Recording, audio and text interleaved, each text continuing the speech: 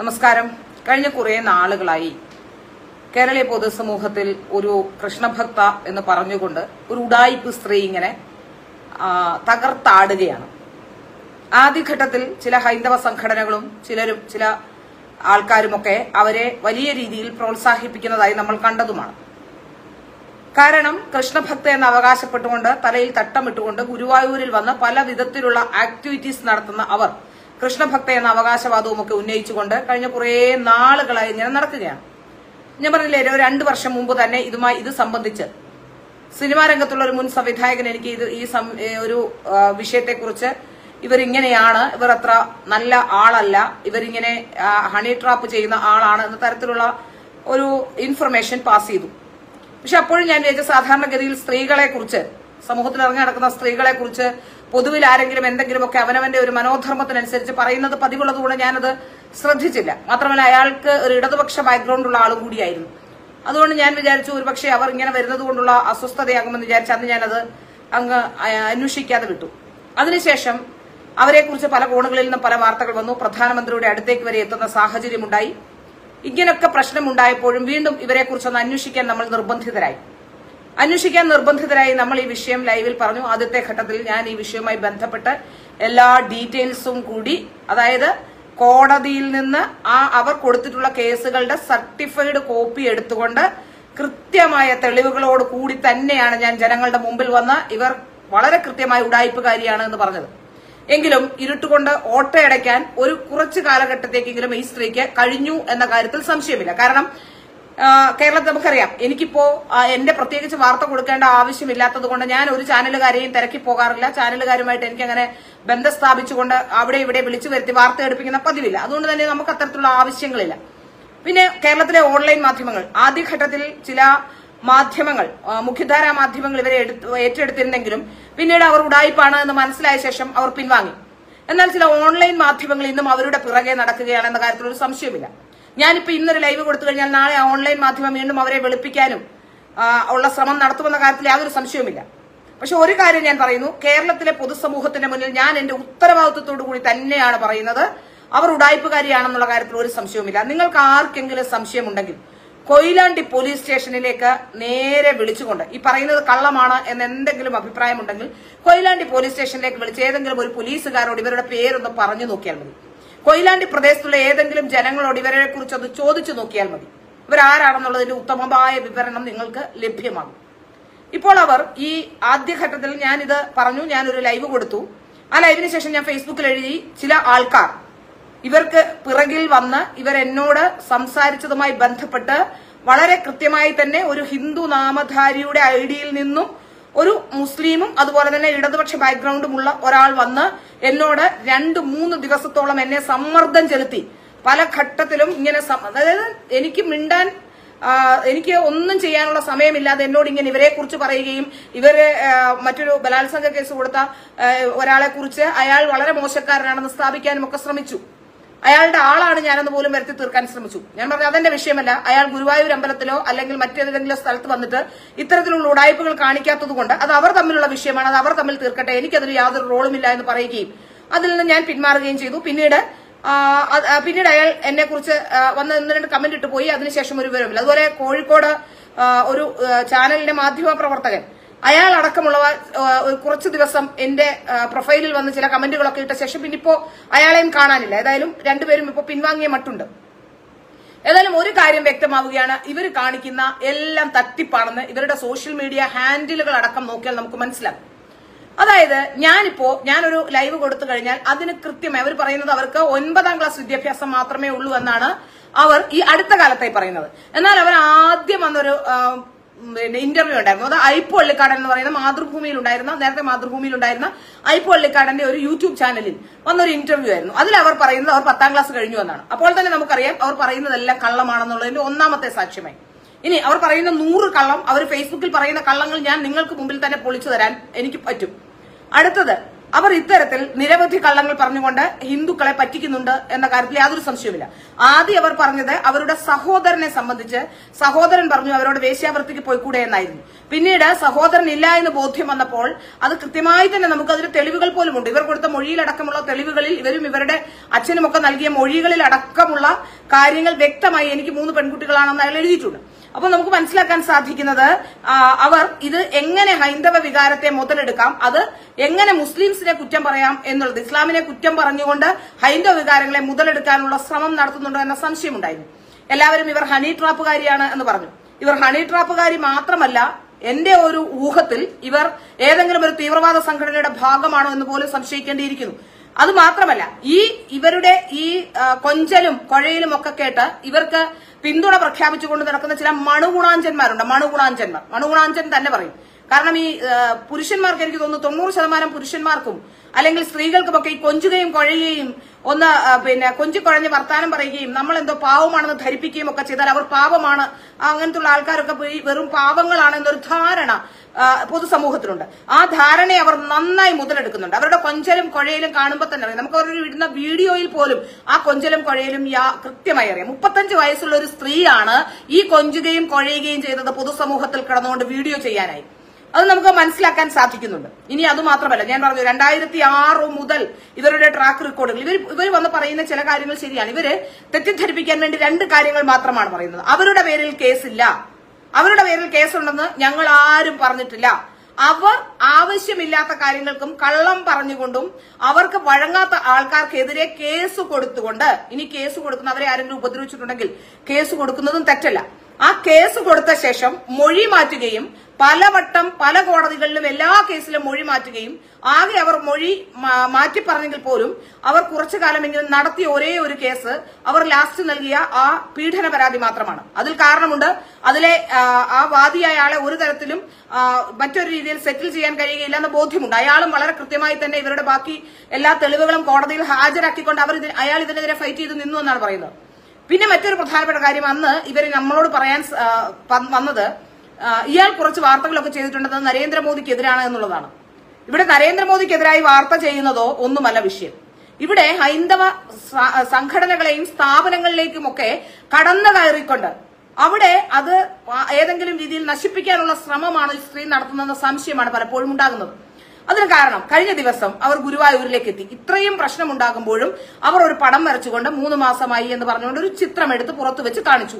ആദ്യത്തെ ദിവസം അവർ പറയുന്നത് എഴുപത്തി അയ്യായിരം രൂപയാണ് ഈ ചിത്രത്തിന് ചെലവായതെന്നാണ്.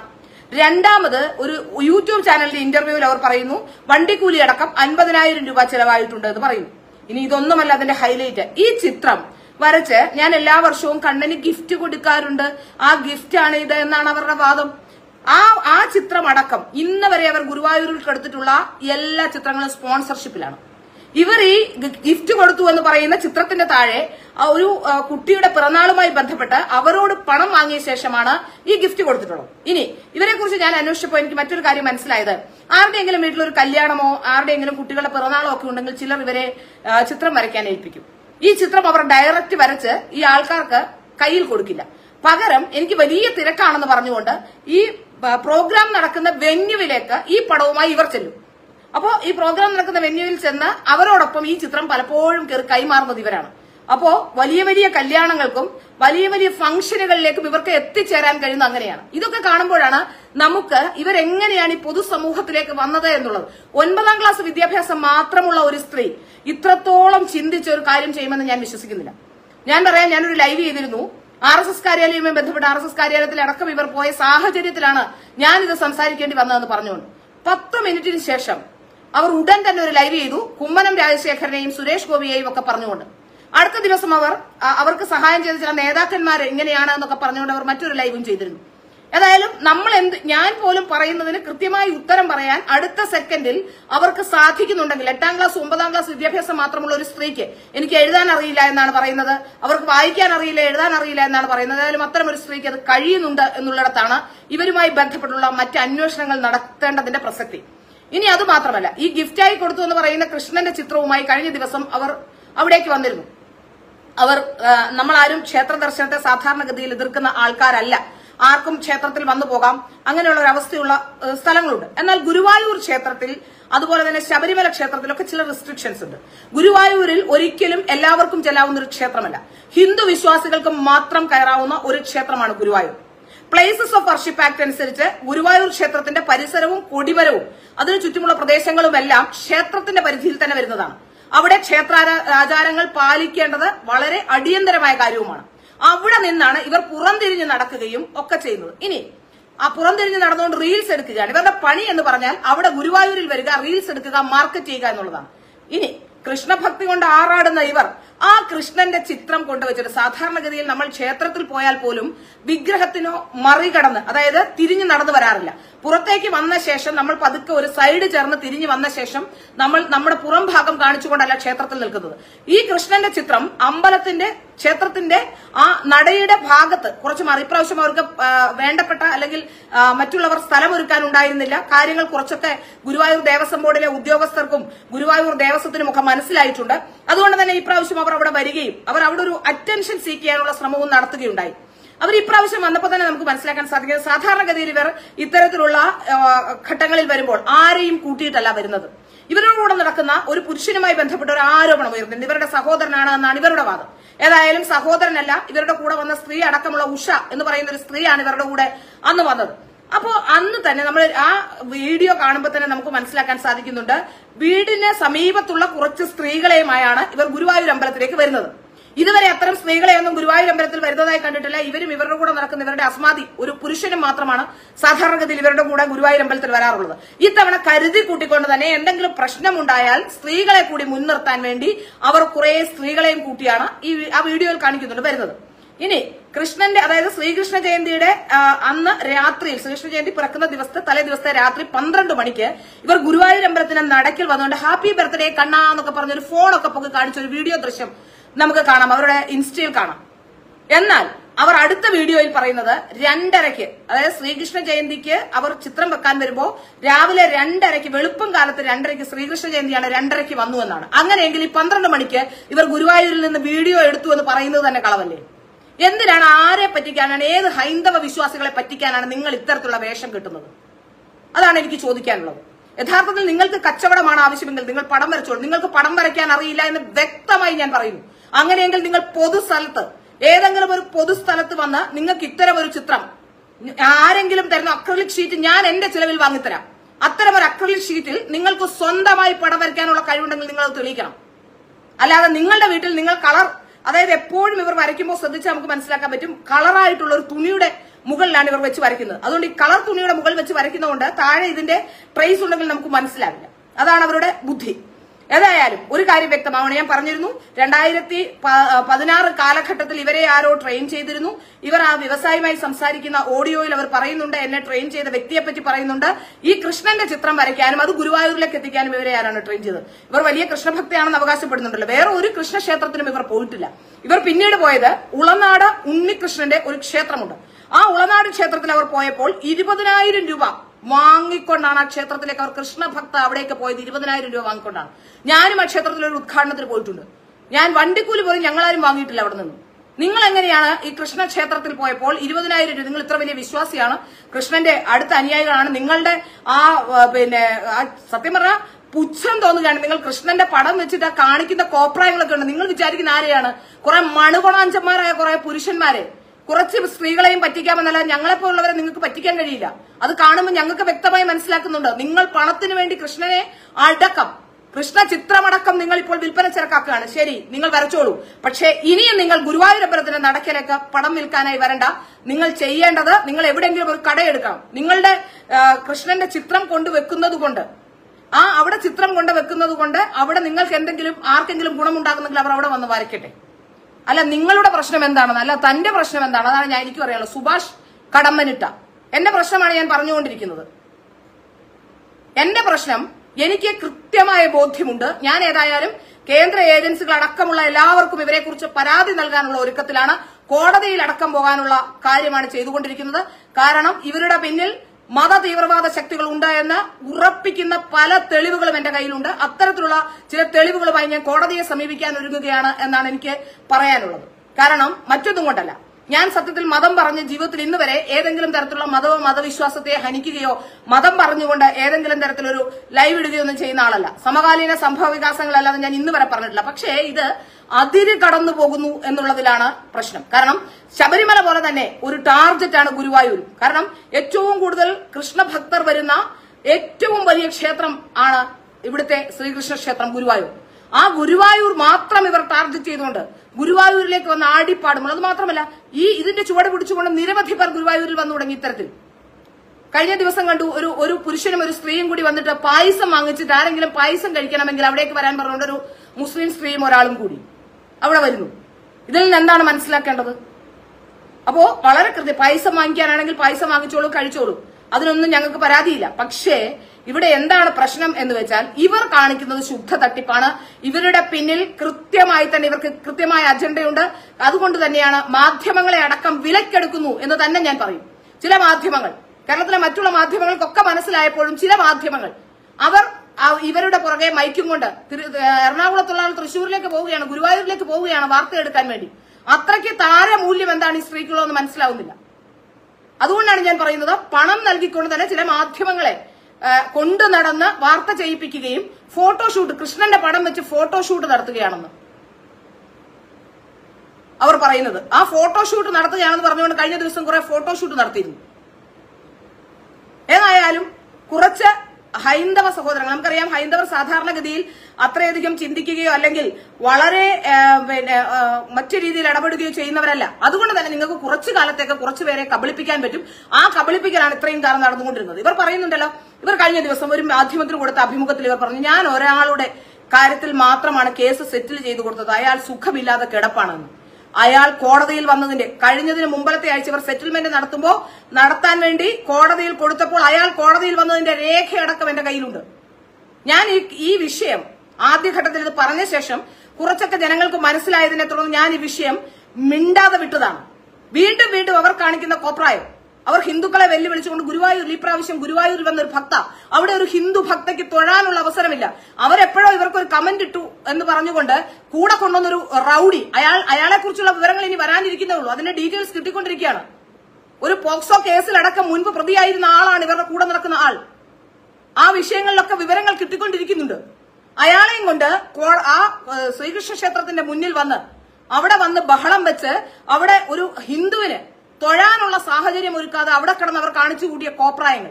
ഒരു കേക്കുമായി അവിടെ എത്തി അവിടെ പിറന്നാൾ ആഘോഷിക്കുന്ന രംഗങ്ങൾ. ഇതൊക്കെ സാധാരണ ഹിന്ദുക്കൾക്ക് സഹിക്കാൻ കഴിയുന്നതല്ല. ഞങ്ങളൊക്കെ ക്ഷേത്രത്തിൽ പോകാറുണ്ട്. ഞങ്ങളൊക്കെ വളരെ വിശുദ്ധിയോടുകൂടി കുളിച്ച് ആചാരങ്ങളെല്ലാം പാലിച്ചുകൊണ്ടാണ് ഞങ്ങൾ ക്ഷേത്രങ്ങളിലേക്ക് പോകാറുള്ളത്. അല്ലാതെ ഇങ്ങനെയല്ല ക്ഷേത്രങ്ങളിലേക്ക് പോകുന്നത്. ക്ഷേത്രങ്ങളെ വിൽപ്പന ചരക്കാക്കുകയും ചെയ്യാറില്ല. നിങ്ങൾ പടം വരച്ചോളൂ. നിങ്ങൾ കൃഷ്ണന്റെ പടം വരയ്ക്കേണ്ടതെന്ന് ഞങ്ങൾ ആരും പറയുന്നില്ല. പിന്നെ നിങ്ങൾ എപ്പോഴും ഉസ്താദ് ഉസ്താദ് ആ ഉസ്താദ് അങ്ങനെ ചെയ്തു ഈ ഉസ്താദ് അങ്ങനെ ചെയ്തു. ഒരു ഉസ്താദിന് ഒരു പേരേ ഉള്ളൂ മുനീർ. ആ മുനീറിന് ഐഡന്റിറ്റി ഇല്ല. മുനീറിന്റെ പിന്നെ ഏതാണ് മുനീർ പഠിപ്പിച്ച പറയുന്നത്? മുനീറിന്റെ സ്ഥാപനം ഏതാണെന്ന് പറയില്ല. കാരണം എന്താണെന്ന് ചോദിച്ചാൽ അത് അവർക്ക് പറയാൻ കഴിയില്ല. ഏതെങ്കിലും ഒരു മുസ്ലിം പേരങ്ങ് പറഞ്ഞാൽ മതി.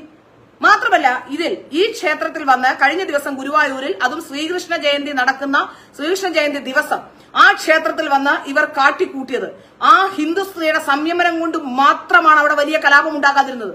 അവരും സംഘടിച്ച് നാല് ഹിന്ദുക്കളെയും സംഘടിപ്പിച്ചുകൊണ്ട് അവർ അവ- ചോദ്യം ചെയ്യാൻ വന്നിരുന്നുവെങ്കിൽ ഇതേപോലെ ഇയാൾ ഇയാൾ കാണിക്കുന്നത് പോലെ ചാടി വീഴാൻ അവരുടെ കൂടെ നാലു പേരുണ്ടായിരുന്നെങ്കിൽ ഗുരുവായൂരിലെ അവസ്ഥ എന്താകുമായിരുന്നു? അതിനെക്കുറിച്ച് ആരെങ്കിലും ചിന്തിച്ചോ?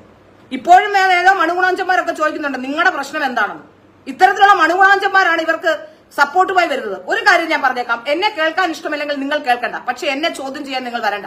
ഞാൻ കൃത്യമായ തെളിവോടുകൂടി ഏത് തെളിവും ഏത് കോടതി ഞാൻ അവരോട് പറയുകയാണ്.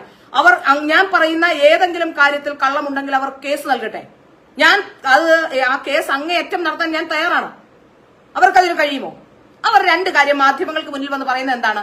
എന്നെ ഒരാൾ റേപ്പ് ചെയ്തു. ആ റേപ്പ് കേസിലെ പ്രതിയാണ് എന്നെ ഇത്തരത്തിൽ ആക്ഷേപിക്കുന്നത്. ഒന്ന് അവരുടെ രണ്ട് അവരുടെ കൂടെ നടക്കുന്ന ആൾ അവരുടെ ഭർത്താവാണെന്ന് നാട്ടുകാർ പറഞ്ഞുണ്ടാക്കി. അല്ലാതെ കേസിനെ സംബന്ധിച്ച് കേരളത്തിലെ മാധ്യമങ്ങൾ ചോദിച്ചോ? രണ്ടായിരത്തി ആറ് മുതൽ ഇവർ നൽകിയ കേസുകളെ കുറിച്ച് ചോദിച്ചോ? എന്തുകൊണ്ടാണ് കോടതിയിൽ മൊഴി മാറ്റുന്നതിനെ കുറിച്ച് ചോദിച്ചോ? അവരോട് ചോദിക്കേണ്ട ചോദ്യങ്ങൾ അതാണ്. അല്ലാതെ അവരെ കാണുമ്പോൾ എലി ഉന്നൽ കണ്ട പോലെ നിന്ന് ചിരിച്ചുകൊണ്ട് നിന്ന് അവരുടെ കൂടൊപ്പം കുഴഞ്ഞു നിന്ന് ഇന്റർവ്യൂ എടുത്തിട്ട് ഒരു കാര്യമില്ല അവരോട് ചോദിക്കൂ. ഈ പറഞ്ഞതിൽ എന്തെങ്കിലും തരത്തിൽ വാസ്തവമുണ്ടോ? അതോ ഈ സ്ത്രീ ശ്രീലാപിള്ള എന്ന് പറയുന്ന സ്ത്രീ പറയുന്നത് കള്ളമാണോ? എന്ന് അവരോട് ചോദിക്കൂ? ഞാൻ പറയുകയല്ലേ? ഇപ്പോഴും ഇപ്പോഴും രണ്ട് യുവമോർച്ചക്കാർക്കെതിരെ കൊയിലാണ്ടിയിലെ രണ്ട് യുവമോർച്ച പ്രവർത്തകർക്കെതിരെ നൽകിയ കേസിലാണ് അവസാന നിമിഷ സെറ്റിൽമെന്റ് ഉണ്ടായിരിക്കുന്നത്. ഇവരുടെ വിജയം എന്താണെന്ന് ചോദിച്ചാൽ പലപ്പോഴും ഇത്തരം കേസുകളിൽ പെടുന്നവർ എങ്ങനെയെങ്കിലും തല ഊരിക്കൊണ്ട് പോകാനല്ലാതെ പിന്നീട് അവർ വരില്ല സമൂഹത്തിന്റെ മുന്നിലേക്ക്. അവർ വന്ന് പറയില്ല. കാരണം അവർക്ക് ജീവിതം നഷ്ടപ്പെട്ടു പോയിട്ടുണ്ടാക്കും അവർക്ക് നാണക്കേട് ഉണ്ടായിട്ടുണ്ടായിരിക്കും. അങ്ങനെയുള്ള സാഹചര്യങ്ങൾ ഉണ്ടാകുമ്പോൾ അവർ ഒരിക്കലും പിന്നീട് വന്ന് ഒരു പ്രശ്നം ഉണ്ടാക്കാനായി നിൽക്കില്ല. അത് തന്നെയാണ് ഇവർക്ക് എപ്പോഴും ഗുണകരമാകുന്നത്. അതുകൊണ്ടാണ് ഇവർ വന്ന് എന്റെ പേരിൽ അവരുടെ പേരിൽ കേസില്ലെന്നേ. ആര് പറഞ്ഞു അവരുടെ പേരിൽ കേസുള്ളത് അവരുടെ പേരിലല്ല കേസുള്ളത്. കേസ് അവർ നൽകുകയും അവർ കേസ് നൽകിയ ശേഷം ആ എല്ലാ കേസുകളും സെറ്റിൽമെന്റ് നടത്തുകയും ചെയ്യുകയാണ് ചെയ്തുകൊണ്ടിരിക്കുന്നത്. അല്ലാതെ അവർ കേസ് കൊടുത്തു എന്ന് ഇവിടെ ആരും പറഞ്ഞിട്ടില്ല. ഏതാണ്ട് പതിനെട്ടിലേറെ കേസുകൾ ആ സ്ത്രീ കൊടുത്തിട്ടുണ്ട്. ആ കേസുകളിലെല്ലാം കേസ് കൊടുത്തോളൂ. നിങ്ങൾക്ക് എന്തെങ്കിലും പ്രശ്നമുണ്ടെങ്കിൽ കേസ് കൊടുക്കണം. എല്ലാ സ്ത്രീയും ആരെങ്കിലും എന്തെങ്കിലും പ്രശ്നം നമുക്ക് ഉണ്ടാക്കിയിട്ടുള്ള കേസ് കൊടുക്കണം അതിന് ഒരു എതിരഭിപ്രായവുമില്ല. പക്ഷേ കേസ് കോടതിയിൽ വരുമ്പോൾ മൊഴി മാറ്റുകയും ഔട്ട് ഓഫ് കോർട്ട് സെറ്റിൽമെന്റ് നടത്തുകയും ആ അവസാനം ആ കേസുകൾ വീണ്ടും അവരുടെ ജീവിതം നശിപ്പിച്ച ശേഷം നിങ്ങൾ ഒരുപക്ഷെ പണം വാങ്ങിക്കുന്നുണ്ടാകും അല്ലെങ്കിൽ നിങ്ങൾ വിചാരിച്ച സ്ഥലത്തേക്ക് അവരെ എത്തിക്കുന്നുണ്ടാവും അത് ചെയ്തതാണ് നിങ്ങളുടെ തെറ്റ്. അതാണ് ചോദിക്കേണ്ടത്. നിങ്ങൾ ഇത്രയധികം കേസുകൾ നൽകിയിട്ടുണ്ടോ? ഇവർ പറയുന്നുണ്ടല്ലോ ഞാൻ ആരെങ്കിലും മിണ്ടിയാൽ സൈറ്റ് അടിച്ചാലും ഒക്കെ കേസ് കൊടുക്കുന്നു അങ്ങനെയുള്ള ഒരാൾ സ്വന്തം മകന് ഒരു ഉസ്താദിൽ നിന്ന് പീഡനം ഉണ്ടായിട്ട് എന്തുകൊണ്ടാണ് കേസ് കൊടുക്കാതിരുന്നത്?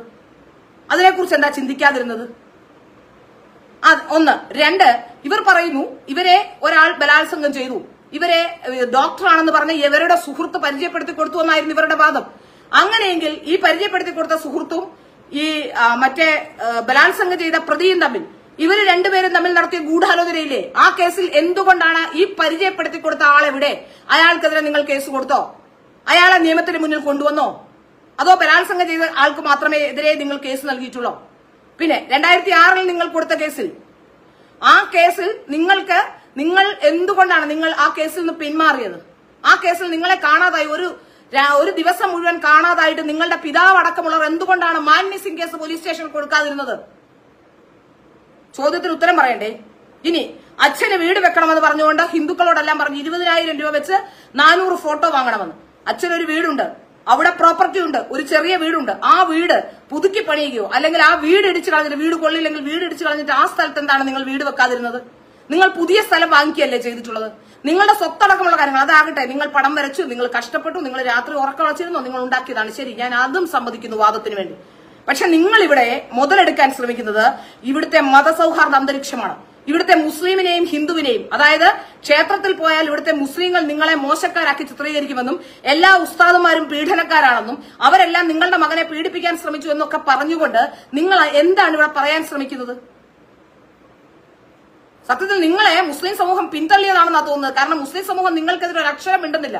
അവർക്ക് നിങ്ങൾ അങ്ങനെ ഒരാൾ ഉള്ളതായിട്ട് പോലും കാരണം ഇത്രയും പ്രശ്നക്കാരിയായ സ്ത്രീ ആയതുകൊണ്ടായിരിക്കാം. ഇങ്ങനെ ഒരാൾ നിങ്ങൾക്ക് നിങ്ങളുടെ അവരുടെ സമൂഹത്തിൽ ഉള്ളതായി പോലും അവർ കണക്ക് കൂട്ടുന്നില്ല എന്നാണ് എനിക്ക് മനസ്സിലാക്കാൻ സാധിക്കുന്നത്. ഏതായാലും ഒരു കാര്യം സത്യമാണ്. ലോകത്തെ ഏറ്റവും വലിയ ഫ്രോഡുകളുടെ ഗണത്തിൽപ്പെടുന്ന ഒരാളാണ് നിങ്ങൾ. ആ ഫ്രോഡത്തരമാണ് നിങ്ങൾ കാണിച്ചുകൊണ്ടിരിക്കുന്നത്. കാരണം നിങ്ങളുടെ അതിവിനയവും നിങ്ങളുടെ രീതികളും കണ്ടാൽ അറിയാൻ പറ്റും. നിങ്ങളുടെ കയ്യിൽ നിന്ന് എങ്ങനെയാണ് ഒരു വ്യവസായ പ്രമുഖന്റെ ഫോൺ ആ കോൾ റെക്കോർഡ് ചോർന്നു പോയത്. അതും കൃത്യമായി തന്നെ കോൾ റെക്കോർഡ് ചോർന്നു. ശരി അറിയാതെ സംസാരിച്ച ഒരു കോൾ റെക്കോർഡ് ചോർന്നു പോകാം. പക്ഷെ അവിടെ അങ്ങനെയാണോ ചോർന്നിട്ടുള്ളത്? ഈ വ്യവസായ പ്രമുഖൻ ആരെന്ന് മനസ്സിലാകുന്ന രീതിയിൽ നിങ്ങൾ അയാളുടെ ഐഡന്റിറ്റി വെളിവാകുന്ന രീതിയിൽ അയാളോട് സംസാരിച്ച ശേഷം ആ ഫോൺ ചോർത്തി പുറത്ത് കടുക്കുമ്പോൾ നമുക്ക് എന്താണ് മനസ്സിലാക്കാൻ സാധിക്കുന്നത്? അയാളെ നിങ്ങളുടെ പരിധിയിൽ നിർത്താനുള്ള നിങ്ങളുടെ ശ്രമമായിരുന്നില്ലേ ഇത്? ഏതായാലും ഒരു കാര്യം വ്യക്തമാണ്. ഇനി നിങ്ങളുടെ ഈ തട്ടിപ്പുമായി നിങ്ങൾക്ക് മുന്നോട്ട് പോകാൻ കഴിയില്ല. അതിനുള്ള നിയമപരമായ എല്ലാ കാര്യങ്ങളും ഇനി ചെയ്യാനുള്ള ഒരുക്കത്തിലാണ്. കാരണം നിങ്ങളെ എങ്ങനെങ്കിലും ജീവിച്ചു പോക്കോട്ടെ. നിങ്ങൾ നിങ്ങളുടെ കാര്യം നോക്കി ജീവിച്ചോട്ടെ എന്ന് വിചാരിച്ചതാണ്. പക്ഷെ നിങ്ങൾ അതല്ല ചെയ്തുകൊണ്ടിരിക്കുന്നത്. നിങ്ങൾ ഹൈന്ദവ സമൂഹത്തെ മൊത്തത്തിൽ അതുപോലെ പാവപ്പെട്ട ഹിന്ദു ജനങ്ങളുടെ ആ വൈകാരികത മുതലെടുത്തുകൊണ്ട് നിങ്ങൾ ഗുരുവായൂർ ക്ഷേത്രമടക്കം തകർക്കാനുള്ള ശ്രമമാണ് നടത്തുന്നത്. ഒരു സംശയവും അക്കാര്യത്തിലില്ല.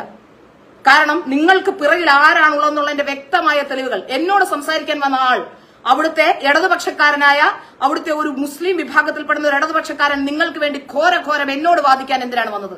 ആ ആളിന്റെ തെളിവും ഫോട്ടോയും അടക്കം അയാളുടെ വിവരങ്ങളെല്ലാം അടക്കം ഞാൻ അന്വേഷണ ഏജൻസികൾക്ക് നൽകുന്നതാണ്. എന്താണ് ആരാണ് നിങ്ങളുടെ പിന്നിലുള്ളത്?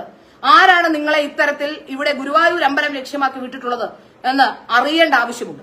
ഇനി നിങ്ങളുടെ ഈ അതിവിനയവും അതിസാമർത്ഥ്യവും കൊണ്ട് ഹിന്ദു വിഭാഗത്തെയും ഗുരുവായൂർ ക്ഷേത്രത്തെയും തകർക്കാമെന്ന് നിങ്ങൾ വിചാരിക്കേണ്ട ജാഗരൂകരായി ഞങ്ങളെ പോലുള്ള ചിലർ നിങ്ങളുടെ പിറകിലുണ്ട്. നിങ്ങളുടെ സഹോദരൻ എന്ന് പറഞ്ഞുകൊണ്ട് നിങ്ങൾ കൊണ്ടുവന്ന ആളെ കുറിച്ചുള്ള ഡീറ്റെയിൽസ് എല്ലാം ഞങ്ങൾ കളക്ട് ചെയ്തിട്ടുണ്ട്.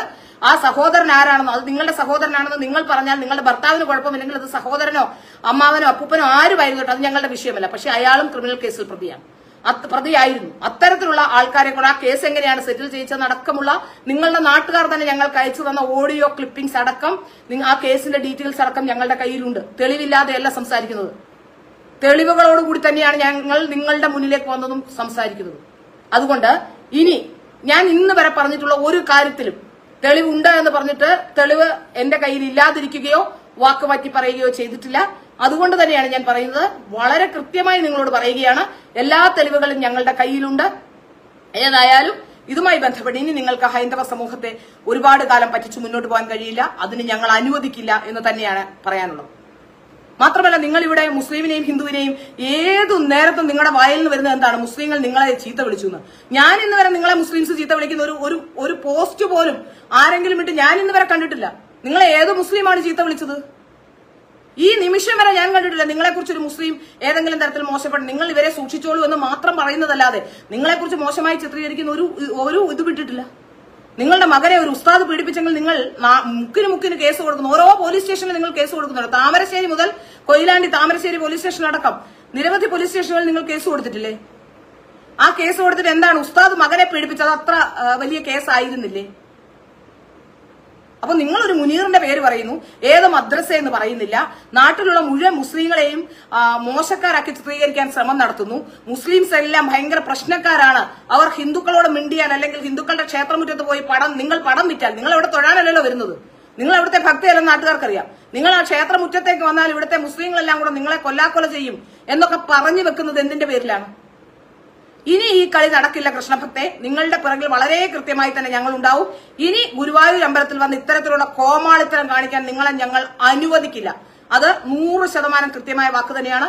ഞാൻ ദേവസ്വം ബോർഡിനും ദേവസ്വം സെക്രട്ടറിക്കും അതുപോലെ തന്നെ എല്ലായിടത്തും പരാതി അയച്ചു കഴിഞ്ഞിരിക്കുന്നു. അവർ എങ്ങനെ പരിഗണിക്കുമെന്ന് അറിയില്ല. കാരണം നിങ്ങൾ തന്നെ പറയുന്നുണ്ട് നിങ്ങളുടെ ഭർത്താവ് ഇപ്പോൾ സഖാവാണെന്ന് പറഞ്ഞ് നിങ്ങൾ അറിഞ്ഞിട്ടുണ്ട്. കാരണം ഞാൻ കൃത്യമായി ആളെ ഐഡന്റിഫൈ ചെയ്യുകയും ആരാണ് എനിക്ക് മെസ്സേജ് അയച്ചത് എന്ന് ഞാൻ കണ്ടെത്തുകയും ചെയ്തതിനു ശേഷമാണ് നിങ്ങൾ നിങ്ങളുടെ ഭർത്താവ് സഖാവാണെന്ന് പറഞ്ഞുകൊണ്ട് നടക്കുന്നത്.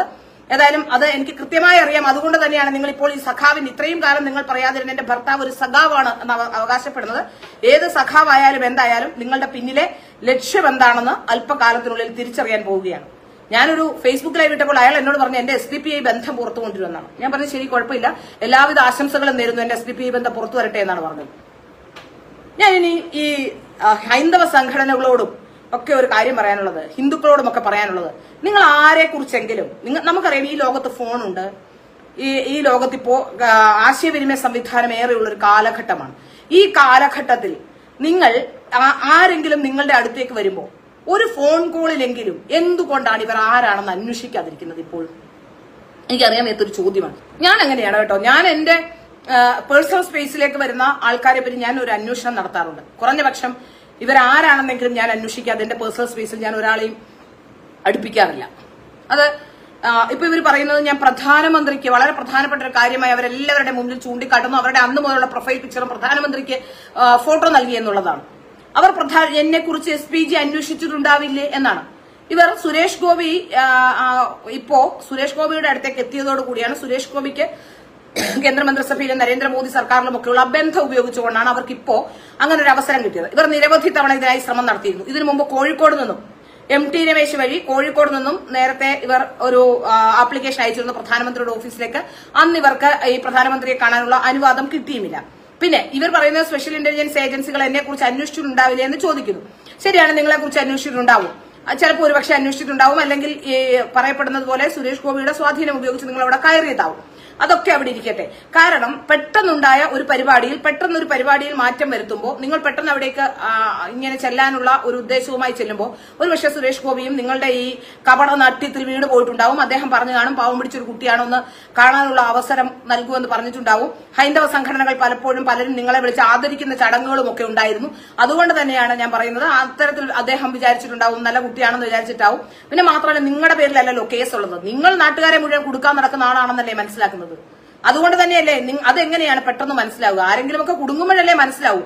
ഏതായാലും നിങ്ങൾ കുറച്ചു കാലം ഇവിടെ ഉണ്ടായിരുന്നെങ്കിൽ ആരെങ്കിലും ഒക്കെ കൊടുക്കാനുള്ള പരിപാടിയുമായാണ് വന്നതെന്ന് അറിയാൻ ഞങ്ങൾ ഇങ്ങനെ ഉറക്കെ ഉറക്കെ പറയുന്നത് കൊണ്ട് നിങ്ങൾക്ക് ആണുങ്ങൾക്കും പെണ്ണുങ്ങൾക്കും ഒക്കെ അസ്വസ്ഥത ഉണ്ടാകുമെങ്കിലും അതിന്റെ ഒരു ഗുണം ഉണ്ടാകാൻ പോകുന്നത് ഈ ഹൈന്ദവ സമൂഹത്തിലാണ്.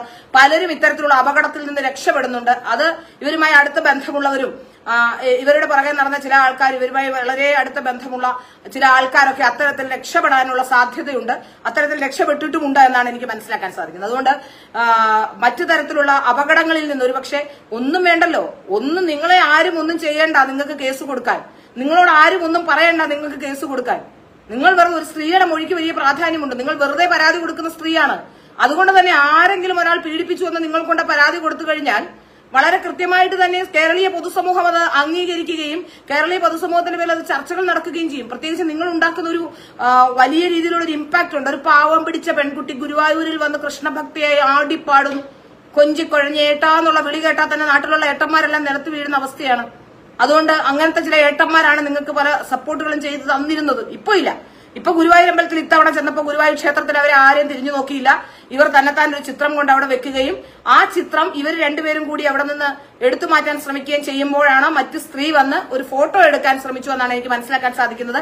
അപ്പോൾ ഈ ഫോട്ടോ പുറത്തു വന്നു കഴിഞ്ഞാൽ ഇവർ ആടിപ്പാടുന്നത് അല്ലാതെ അവിടെ ആരും വരുന്നില്ല എന്ന് നാട്ടുകാർക്ക് മനസ്സിലാകും. അതുകൊണ്ട് ആ ഫോട്ടോ എടുക്കാൻ തുടങ്ങിയപ്പോഴാണ് ഇവരുടെ നേരെ ചാടി വീഴുകയും ആ അവരുടെ നേരെ ചാടി വീഴുകയും അവരോട് പ്രശ്നമുണ്ടാക്കാൻ പോവുകയും ചെയ്തു എന്നാണ് ഞാൻ മനസ്സിലാക്കാൻ സാധിക്കുന്നത്. അവർ ക്ഷേത്രത്തിൽ തൊഴാൻ വന്നൊരു ഭക്തയാണ്. അവരെ എന്തിനാണ് അതിനും അവരെ ഏത് തരത്തിലുള്ള രാഷ്ട്രീയം മുന്നോട്ട് വെച്ചാലും അവർ ഒരു ഭക്തയാണെന്ന കാര്യത്തിൽ സംശയമില്ല. അതുകൊണ്ട് തന്നെ അത്തരം ഒരു സ്ത്രീയെ അതും ഉടനെ തന്നെ വേറെ അവരുടെ ഇവരുടെ കൂടെ വന്നൊരു സ്ത്രീ തന്നെ. അത് കണ്ടാൽ പൊട്ടുമൊക്കെ തൊട്ടിട്ട് ഇവരുടെ കൂടെ വന്ന് ഇവർ പറയുന്ന ഈ ഇവരുടെ കൂടെയുള്ള ആസ്മാദിയുടെ അമ്മയാണ്. അവരുടെ പേര് എനിക്ക് മനസ്സിലായി. ഉഷ എന്നാണ് അവരുടെ പേര്. അവർ ചാടി വീണ് പറയുകയാണ് ഇവർക്കൊരു മെസ്സേജ് ഇടുമ്പോൾ നിങ്ങൾ ശ്രദ്ധിക്കേണ്ട ഇവരൊരു സെലിബ്രിറ്റി അല്ലേ? ആര് പറഞ്ഞു ഇവർ സെലിബ്രിറ്റി ആണെന്ന്? നിങ്ങളോട് ആരാണ് പറഞ്ഞു ഇവർ സെലിബ്രിറ്റി ആണെന്ന്? ഇവരൊരു സെലിബ്രിറ്റിയാണ് എന്ന് പറഞ്ഞുകൊണ്ട് അതായത് കണ്ടു നിൽക്കുന്നവർക്കും കേട്ടു നിൽക്കുന്നവർക്കും ഇവരെന്തോ മഹാസംഭവമാണ് എന്ന് തോന്നണം. ഇനി ഗുരുവായൂർ അമ്പലത്തിലേക്ക് ഗുരുവായൂരിന്റെ ആ ഏഴയലത്തേക്ക് നിങ്ങളെ കയറ്റാൻ അല്ലെങ്കിൽ അത്തരത്തിൽ നിങ്ങൾ വരാൻ നിങ്ങൾ ശ്രമിച്ചാൽ അതിന് നിങ്ങൾ അനുഭവിക്കേണ്ടി വരുന്നത് വലിയ രീതിയിലുള്ള പ്രശ്നങ്ങളായിരിക്കും. അത് എന്ന് വെച്ചാൽ ഞാൻ നിങ്ങളെ ഭീഷണിപ്പെടുത്തുകയല്ല കോടതി വഴിയായിരിക്കും. അല്ലാതെ ഞാൻ നിയമപരമില്ലാത്തൊരു ഒരു മാർഗവും സ്വീകരിക്കില്ല. കോടതിയിലേക്ക് പോകാനുള്ള ഒരുക്കത്തിലാണ് ഞാൻ എന്നാണ് പറയാനുള്ളത്. ഏതായാലും കോടതി വഴി അതിനുള്ള ശ്രമങ്ങൾ ഞങ്ങൾ ആരംഭിക്കും. Hindu places of worship act അനുസരിച്ച് നിങ്ങൾക്ക് അവിടെ കയറാനുള്ള ഒരു ഇതുമില്ല. ആ ഒരു അനുവാദവും അവിടെ കിട്ടില്ല. അതുകൊണ്ട് നിങ്ങളൊരു കാര്യം ചെയ്യൂ. നിങ്ങൾ നിങ്ങളുടെ ചിത്രങ്ങൾ വരച്ചോളൂ. നിങ്ങളുടെ ജീവിതമാർഗമാണ്. അതും ഞങ്ങളുടെ ഔദാര്യമായി നിങ്ങൾ കുട്ടികളോ നിങ്ങൾ പോയി ചിത്രം വരച്ച് നിങ്ങൾ എവിടെയെങ്കിലും ഒരു കടയെടുത്ത് നിങ്ങളുടെ ചിത്രത്തിൽ വലിയ ആൾക്കാരുണ്ടല്ലോ. നിങ്ങളുടെ ചിത്രം വെച്ചാൽ കുട്ടികളുള്ള ഉണ്ട് ക്ഷേത്രത്തിൽ ആ ആ വീഡിയോ അതിലും വലിയ രസമാണ്. അവർ പറയുന്നത് അവിടെ ഒരു ശങ്കരേട്ടനുണ്ട്. ശങ്കരേട്ടൻ ക്ഷേത്രത്തിൽ പൂജ ചെയ്യുന്ന ആളാണ്. അതുകൊണ്ട് ശങ്കരേട്ടന് കുട്ടികളില്ല. അതുകൊണ്ടാണ് ആ വീഡിയോ ശ്രദ്ധിച്ച് കേൾക്കണം. കേൾക്കാത്തവരാണ് പലപ്പോഴും ഇത് പറയുന്നത്. ശങ്കരേട്ടന് കുട്ടികളില്ല. പക്ഷെ എന്റെ പടം വരച്ചു കൊടുത്തപ്പോ ശങ്കരേട്ടന് കുട്ടികളുണ്ടായി എന്നാണ്. ഇതിനിടയ്ക്ക് ഇവർ ഒരു അതായത് ഒരു ആൾദൈവമാകാനുള്ള ഒരു ശ്രമം നടത്തിയിരുന്നു. കാലിന്റെ അടിയിൽ നീല കാണുന്നു എന്നൊക്കെ പറഞ്ഞുകൊണ്ട്. പിന്നീട് അവർ ആ ആ ശ്രമം അത്ര കണ്ട് വിജയിച്ചില്ല. അതിൽ നിന്ന് പിന്മാറുകയായിരുന്നു എന്നാണ് എനിക്ക് മനസ്സിലാക്കാൻ സാധിക്കുന്നത്. അപ്പോ ഇനി നിയമപരമായി നിങ്ങളെ ഏത് രീതിയിൽ നേരിടണം എന്നുള്ളതിനെ സംബന്ധിച്ച് ഞങ്ങൾ ആലോചിച്ചുകൊണ്ടിരിക്കുകയാണ്. ആ വിഷയത്തിൽ ഞങ്ങൾ കോടതിയിലേക്ക് പോകാനാണ്. ഗുരുവായൂർ നിങ്ങൾക്ക് വരാനുള്ള സ്ഥലമല്ല. ഗുരുവായൂർ ക്ഷേത്രത്തിന്റെ പരിസരത്ത് അതായത് ക്ഷേത്രത്തിന്റെ നടയിലോ അതിന്റെ ക്ഷേത്രവുമായി ബന്ധപ്പെട്ട ക്ഷേത്രത്തിന്റെ പ്രൊമൈസിലോ മറ്റുള്ള മതവിഭാഗങ്ങൾക്ക് കയറാനുള്ള അവകാശമില്ല. അതുകൊണ്ട് തന്നെ അത്തരത്തിൽ നിങ്ങൾ ഗുരുവായൂരിനെ കലാപഭൂമിയാക്കാനുള്ള നിങ്ങളുടെ ശ്രമങ്ങൾക്ക് സർക്കാർ വൺ ഫിഫ്റ്റി ത്രീ എ അനുസരിച്ച് കേസെടുക്കാനുള്ള വകുപ്പുള്ള ഒരു കാര്യമാണ്. കാരണം നിങ്ങൾ അന്ന് അതും ഏറ്റവും പ്രധാനപ്പെട്ട ഒരു ദിവസം ഗുരുവായൂരിലേക്ക് ഭക്തരെല്ലാം എത്തിച്ചേരുന്ന ദിവസമാണ് നിങ്ങൾ അവിടെ വന്ന് ഈ പ്രശ്നം ഉണ്ടാക്കിയത് അതുകൊണ്ട് നിങ്ങളുടെ പേരിൽ വൺ ഫിഫ്റ്റി ത്രീ എ അനുസരിച്ച് സർക്കാർ കേസെടുക്കാൻ തയ്യാറാകണം. ഏതായാലും നോക്കട്ടെ എന്താണ് ചെയ്യാൻ പറ്റുക എന്ന് ഞങ്ങൾ എന്തായാലും ഇതുമായി ബന്ധപ്പെട്ട് നിങ്ങളുടെ കള്ളത്തരം പൊളിച്ച് സമൂഹത്തിന് മുന്നിൽ കാണിച്ചിരിക്കും. ഒരു സംശയവും അക്കാര്യത്തിൽ വേണ്ട.